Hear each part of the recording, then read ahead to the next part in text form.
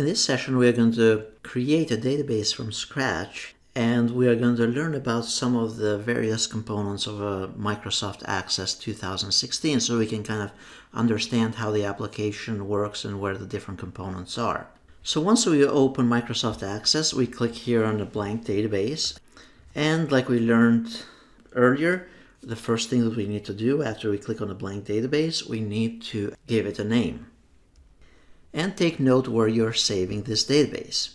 Now, as soon as you open the Access database here, what we have is very similar to Microsoft Word and Excel and other applications in Office 2016. On the very top, we have the Quick Access toolbar with a bunch of uh, commonly used options.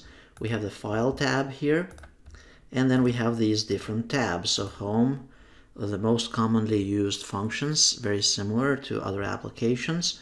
Then we have here the Create tab. This is to create different components related to databases. For example, creating a table, creating queries, creating forms and reports.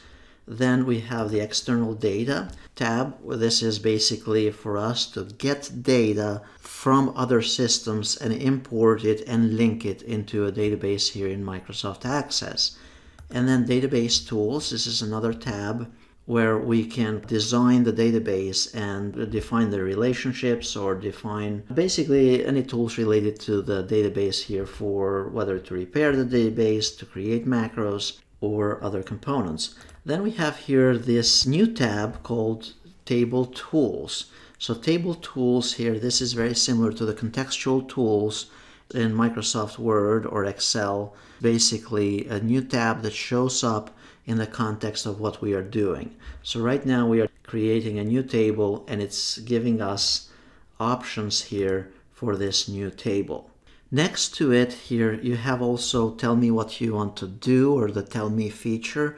This is new in Office 2016 so basically if you wanted to learn uh, how to use Query Wizard or how to create a new form or anything like that you simply type in there how to do that. So for example, query wizard, and it just basically takes you directly to that option in order to learn how to perform a specific task in Microsoft Access.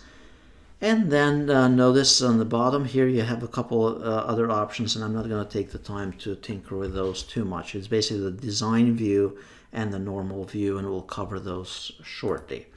Now creating our first database here.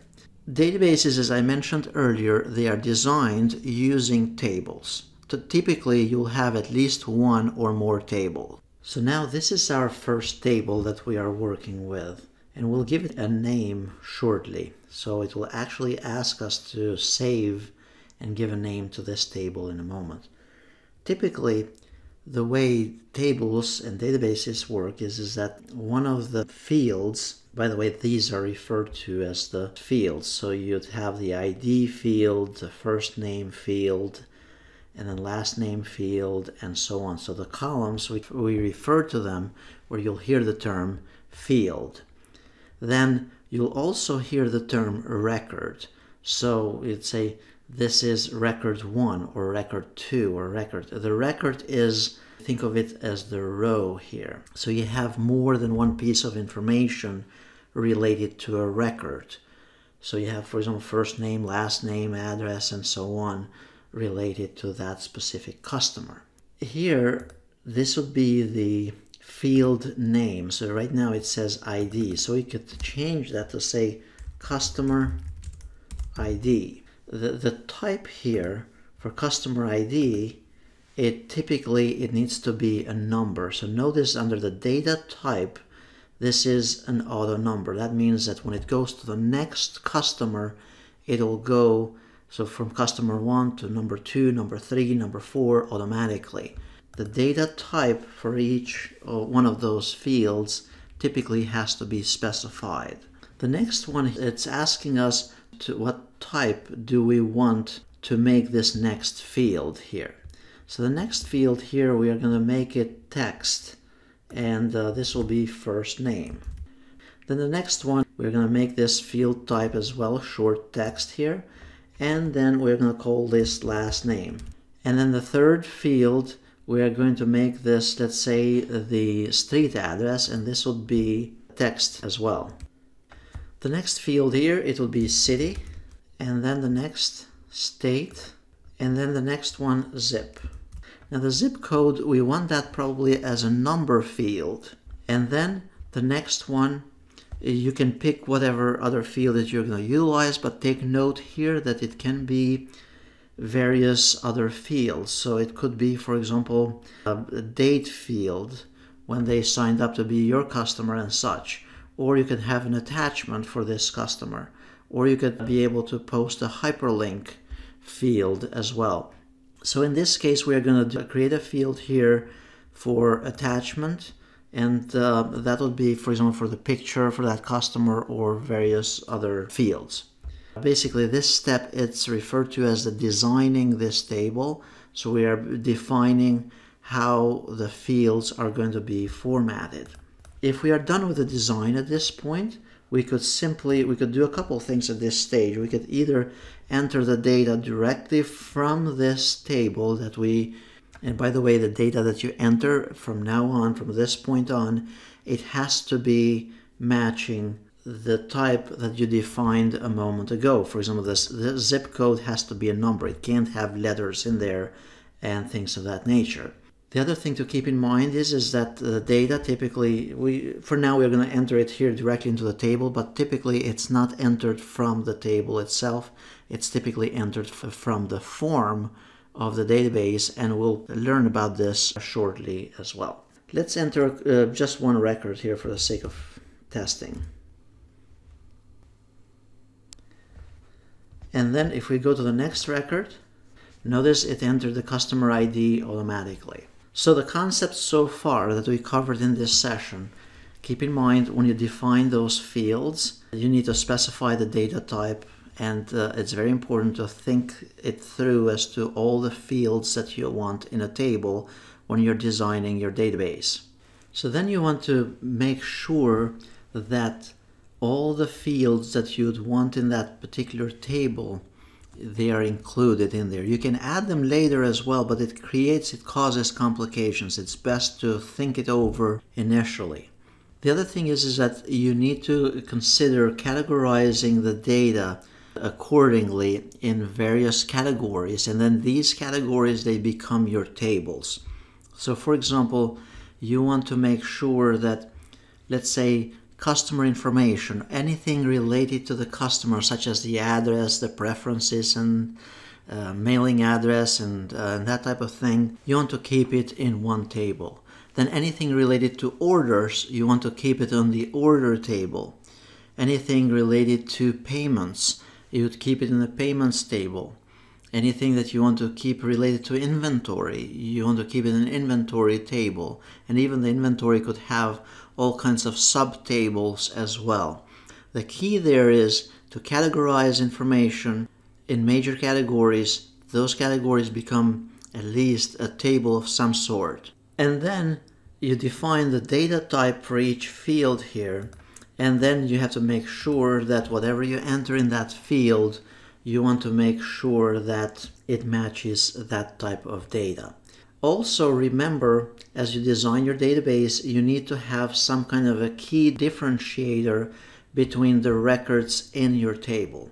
So for example, if you had two customers named as Hubert Sims and such, you want to make sure that the, how do they differ and the way to differ from one customer from one record to another is by assigning them something unique for example, a customer ID, a unique customer ID. And those are typically referred to, that becomes your primary key.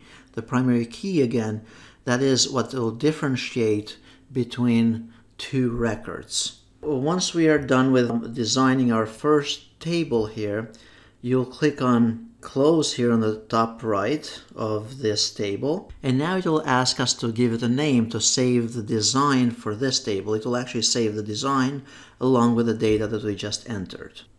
And now notice here under the, tables list here on the left hand side we have customers information.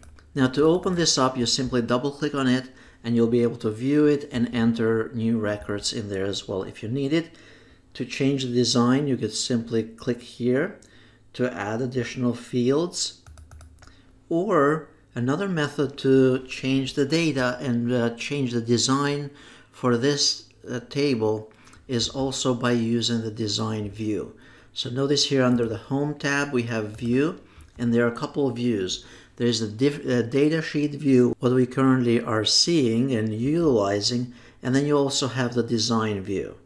Let's click here on design view, and this is a more uh, sophisticated way. It's a little bit more complicated if you're not used to working with databases, but yet it's actually a lot more powerful and a lot more useful. So here, what you can do is basically you can modify the structure of this table. On the left hand side you have the field name, which is the column for each column in that table that we uh, saw earlier. So we could change the names here, or we could change the data type as well. If you have a lot of data in your table and you go and uh, tinker and manipulate the data type, you might most likely get an error message. So keep that in mind as you design your tables to try to do it as best as possible in the beginning, whether it's the data type, the layout of the fields, and such. Now from here, from the design view, like I mentioned earlier, you can change the data type. So you can say, okay, under the state, I want that instead of 255 characters, I want that to be only the two-digit abbreviated version of it, or you can make it uh, 40 characters long or whatever the length of the field there so you can define the field. You can also change the format and the mask and all kinds of default values and you can control all kinds of additional settings here. So I'm not going to go into the more fancier options here, but uh, for the big picture, you can change the structure from the datasheet view or you can change it from the design view from here. Notice as well that you can change the order of those fields by holding down the mouse and you can move one field uh, above the other one as well and change the order of those fields. To add new ones, you can add them here in the bottom. And then you have to define the data type as well. So for example, this is a field for comments. So this would be long text. So you want to make sure here that uh, the user can enter uh, enough text. I believe that would be 64,000 characters that it will accept in that field when you start typing on it. Once you're done with any of the design changes, now we click on close here and it's going to save the structure. Typically this save option, it takes place only when we change the structure of it. So one of the concepts here is, is that if you change the structure of your table and the design of it, then it's going to ask you and prompt you to, to save it. However, if you're simply entering data, the data is saved automatically into your database. So that's another concept to understand when using databases. The other thing is that databases are designed to be used by multiple users at the same time.